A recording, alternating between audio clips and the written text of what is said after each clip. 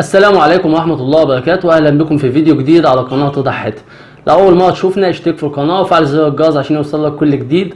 اضغط like لو عجبك الفيديو اكتب لها تعليق لو عندك أي صف... أي استفسار عن فيديو النهاردة. اعمل share للفيديو ده عشان كتير من القنوات محتاجين فيديو النهاردة.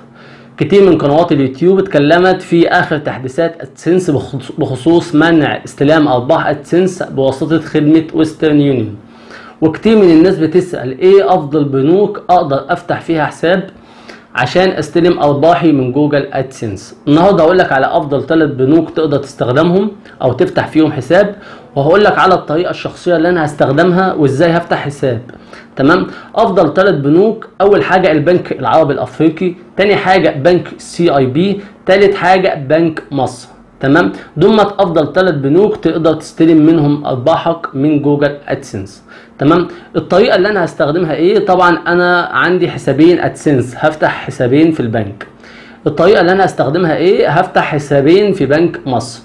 طب إيه الأوراق المطلوبة عشان أفتح حساب في بنك مصر؟ أول حاجة البطاقة بتاعتك البطاقة الشخصية. وكمان آه، وصل بالمرافق وصل كهرباء أو وصل مية تمام؟ وبتاخد أنت البطاقة بتاعتك وبتاخد وصل بالمرافق قبل ما تروح البنك الصبح بتروح لمكتب الصرافة. بتروح لمكتب الصرافة تقول له إيه؟ تقول له لو سمحت مكتب الصرافة ده بيعمل إيه؟ اللي هو بيحول لك من مصري لدولارات أو من دولارات لمصر تروح مكتب الصرافة تقول له لو سمحت أنا عايز أحول من مصري لدولارات. هيقول لك عايز كام دولار؟ تقول له عايز 100 دولار. طبعا هياخد منك حسب قيمة الدولار ساعتها. تمام؟ يعني مثلا لو الدولار ب 16 جنيه هياخد منك 1600 جنيه. المهم بعد ما خدت ال 100 دولار بتروح على بنك مصر. تدخل بنك مصر تقول له تقول ال- ال- العميل اللي هناك تقول الراجل اللي موجود في بنك مصر تقول له لو سمحت أنا عايز أفتح حساب دولاري. تقول له كده لو سمحت أنا عايز أفتح حساب دولاري. هيقول لك الحد الأدنى للإيداع عشان تفتح حساب دولاري 100 دولار تقول له اتفضل. هيقول لك عايزين 75 جنيه تمن فتح الحساب تقول له اتفضل. تمام؟ وبتدي له البطاقه الشخصية ووصل بالمرافق تمام؟ وكده هتفتح حساب إن شاء الله. بعدها بشوية وانت قاعد يعني انت منتظر على بال ما يخلص الحساب. بعدها بشوية آه، قال لك تمام يا فندم الحساب اتعمل. تقول له لو سمحت أنا عايز أشترك في خدمة بنك أونلاين. بنك أونلاين هقول لك تستفيد من الخدمة دي إزاي أو هي هتفيدك في إيه الخدمة دي.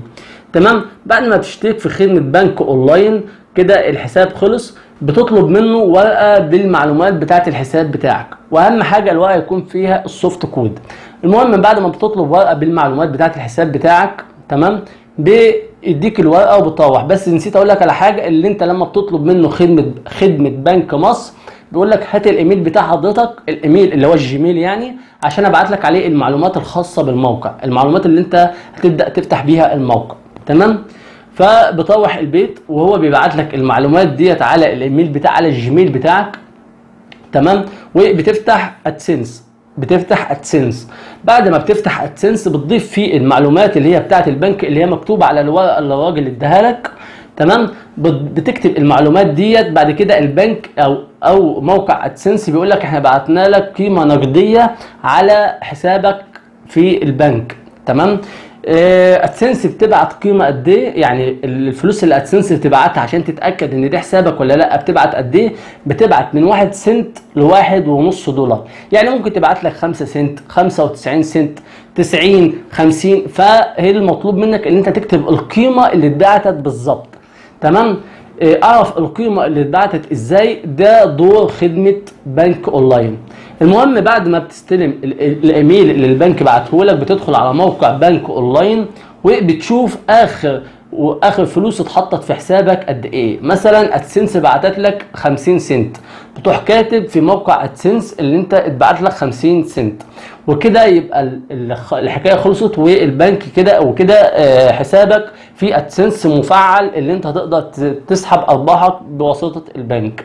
تمام؟ موقع آه، موقع اللي هو بتاع بنك أونلاين. أستفيد منه في إيه تاني؟ طبعا يوم 22 لما Google AdSense بيبعت لك الحوالة بتاعتك بيقول لك تم إرسال الدفعة بتاعتك بتدخل على موقع بنك أونلاين وتتاكد إذا كانت فعلا الدفعة اتبعتت ولا لأ في الحساب بتاعك ولا لأ.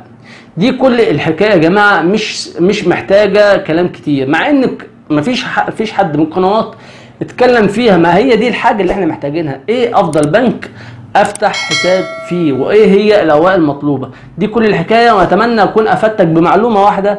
اشترك في القناه وفعل زر الجرس عشان يوصلك كل جديد. أشوفكم في فيديو تاني على قناة رضا حاتم. والسلام عليكم ورحمة الله وبركاته.